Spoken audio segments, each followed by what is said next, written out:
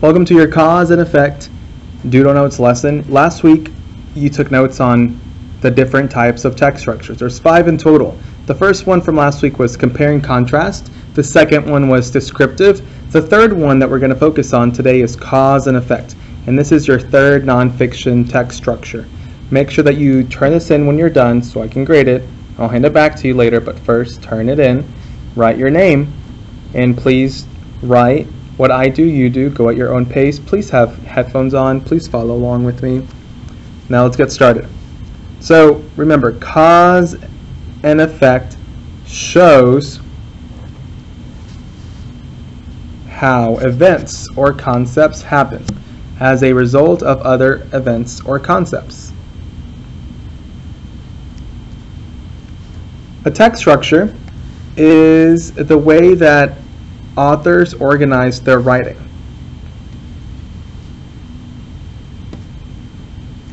Nonfiction text structure. Remember, this has to do with a text that is real. So, non means not fiction. So, it is real. Now, a cause is why something happens. You ask yourself, why did this happen? An effect is what happens. You ask yourself, what happened? So a cause is asking why, an effect is asking what happened. And cause and effect shows events or concepts, shows how events or concepts happen as a result of other events or concepts. Please make sure that you have this written down. So now, once you have this written down, we're going to move on to our example. For our example, we have people can disturb the nesting sites of the loggerhead sea turtles. That's our cause. Our effect is sea turtles are now an endangered species. So what happened? So the effect is Sea turtles are endangered species. Why did this happen? Why are they endangered? The why is always the because. So let's put why next to cause and what.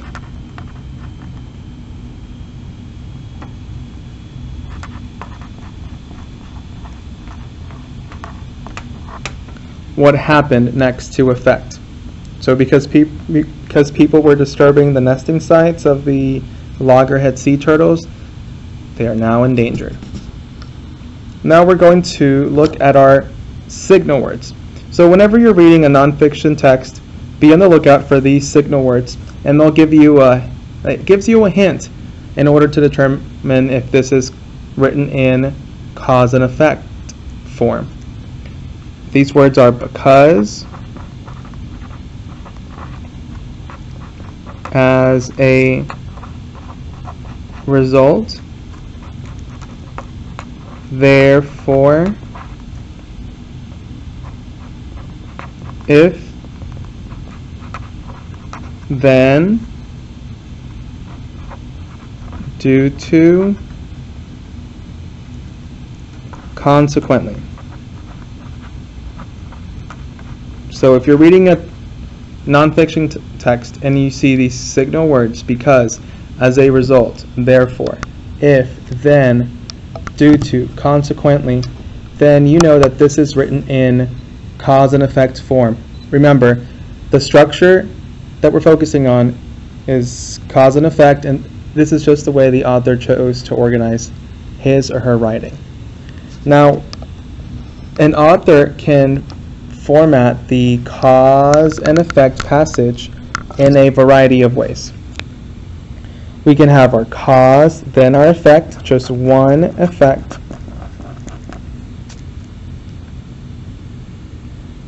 We can have our cause and three effects, three things that happen.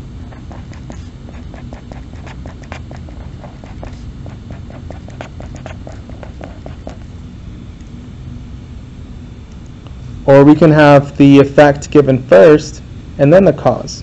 So effect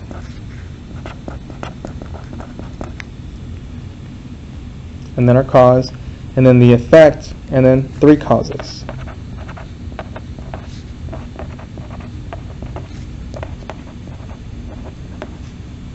So the effect is what happened, why did it happen? Don't forget.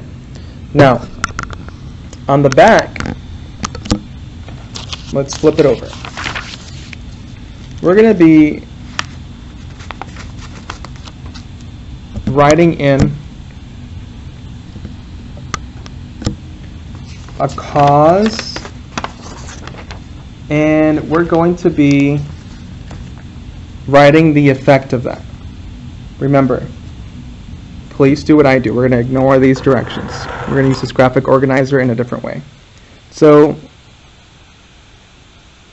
let's write people, litter, in rivers, lakes, and oceans.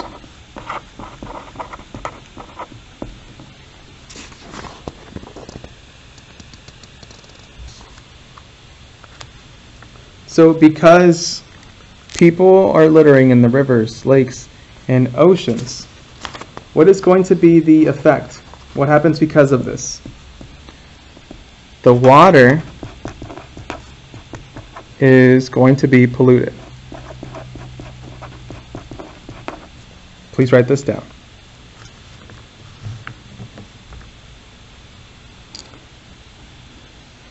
Let's write our next cause. As water freezes, it expands. Now let's come up with an with the effect. What happens?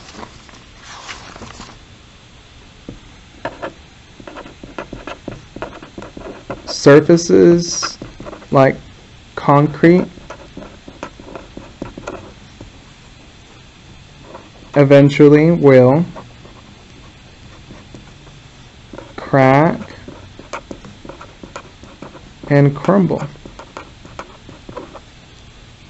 So because the water is freezing, it's expanding, what's going to happen because of this, surfaces like concrete eventually crack and crumble. So the cause, our next one, water is heated and molecules move quickly. Now, what's the effect of that? An effect is what happens. A cause is why something happens. So what's going to happen? Water is going to begin to do what?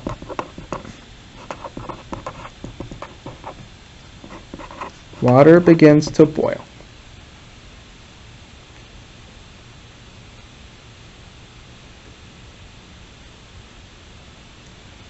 Our next one, our last one, we're going to write there is less rainfall in an area. So let's say there's less rainfall in an area. What's going to happen because of that? Because there's no water in an area, no rainfall, what's going to be the effect? What's going to happen because of this? Water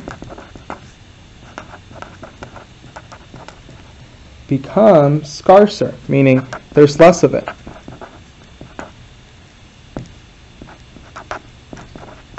Less of it.